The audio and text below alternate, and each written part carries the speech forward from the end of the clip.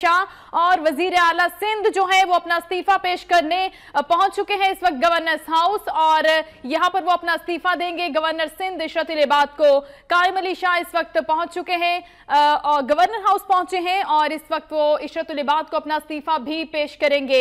वज़ीर आला सिंध कायम अली शाह अपना इस्तीफा देने गवर्नर्स हाउस पहुँच चुके हैं। वज़ीर आला सिंध कायम अली शाह पहुँचे हैं यहाँ पर गवर्नर हाउस और गवर्नर सिंध इशरत लिबाद को अपना इस्तीफा भी पेश कर देंगे।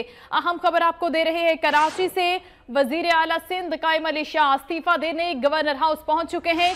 कायम अली शाह ने गवर्नर सिंध रिशतुलबाद को अपना इस्तीफा पेश कर दिया है। एक बार फिर से आपको अहम खबर दे कराची से, जहाँ पर वज़ीर आला सिंध, कायम अली शाह गवर्नर हाउस पहुँच चुके हैं।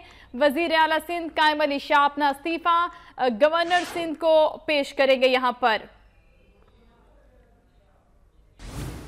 वज़ीर अला सिंध कायम अली शाह अपना इस्तीफा, गवर्नर सिंध शरतुलबाद को पेश कर चुके हैं। गवर्नर हाउस यहाँ पर इस वक्त तो पहुँचे हैं और इनसे मुलाकात भी करेंगे। के मोहसिन से तफसी जानेंगे इस हवाले से। के मोहसिन, बताइएगा। जी, बिल्कुल वज़ीर अला सिंध सईद कायम अली शाह अपना इस्तीफा देने गवर्नर हाउस पहुँच गए हैं और वो अपना इस्तीफा पेश कर रहे हैं और बहुत जल्द वो उनसे गवर्नर साहब से तफसी मुलाकात भी करेंगे। इसके अलावा वो मीडिया से अपनी गुफ्तु भी शेयर करेंगे।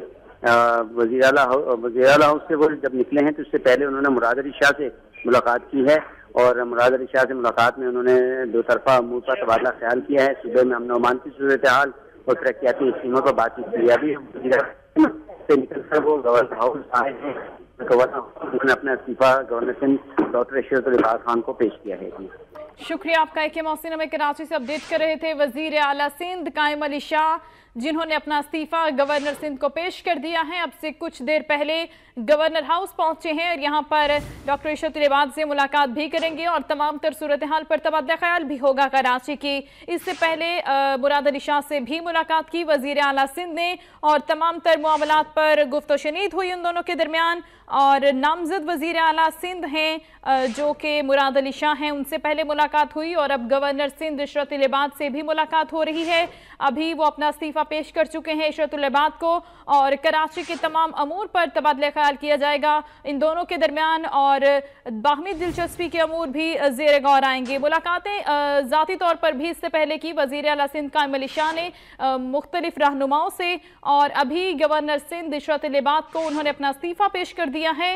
वज़ीर अला सिंध कायम अली शाह जो कि पहुँचे हैं गवर्नर हाउस और यहाँ पर गवर्नर सिंध इशरत लिबाद से मुलाकात कर रहे हैं। अपना इस्तीफा भी पेश कर चुके हैं क्योंकि पार्टी की जानब से यह अहम फैसला किया गया था। वज़ीर अला सिंध की तब्दीली के हवाले से, जिसको वज़ीर अला सिंध कायम अली शाह ने फराग दिली से कबूल किया और अपना इस्तीफा आज पेश कर दिया है governor house. Governor Sindh Ishrat Ibad को, क्योंकि नए नामजद वज़ीर अला सिंध मुराद अली शाह हैं ऐलान कर दिया गया था चेयरमैन पीपल्स पार्टी की जानब से और अभी इस्तीफा पेश करने का मामला है, जो कि वज़ीर अला सिंध कायम अली शाह अपना इस्तीफा देने गवर्नर हाउस पहुँचे हैं और अपना इस्तीफा पेश कर चुके हैं अब इन दोनों के दरमियान मुलाकात इस वक्त जारी है। एक बार फिर से आपको अहम खबर दे कराची से ही वज़ीर अला सिंध कायम अली शाह अपना इस्तीफा देने गवर्नर हाउस पहुँचे हैं और यहाँ पर गवर्नर सिंध इशरातुलबाद से भी मुलाकात कर रहे हैं। अपना इस्तीफा पेश कर चुके हैं वज़ीर अला कायम अली शाह। गवर्नर सिंध इशरातुलबाद को क्योंकि नए नामजद हो चुके हैं सिंध के वज़ीर अला जो कि मुराद अली शाह हैं। और अब ये इस्तीफा पेश करने का मामला है और वज़ीर अला सिंध कायम अली शाह ने अपना इस्तीफा भी पेश कर दिया है गवर्नर सिंध को।